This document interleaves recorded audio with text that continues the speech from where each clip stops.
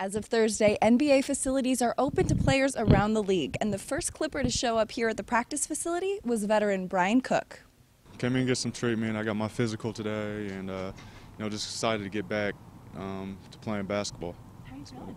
Feeling great. Uh, had a great summer and just uh, trained a lot every day. Uh, trained with a, a, few a few of our teammates uh, throughout the summer, and I got time to uh, spend with my kids also, which was uh, bittersweet. So.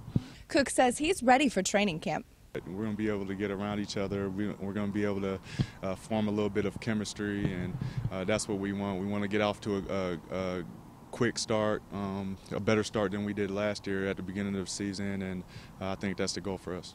From the Clippers practice facility in Playa Vista, I'm Madeline Burke for LAC TV. For more on the Clippers, check out clippers.com, and for ticket information, call 866 4 Clippers.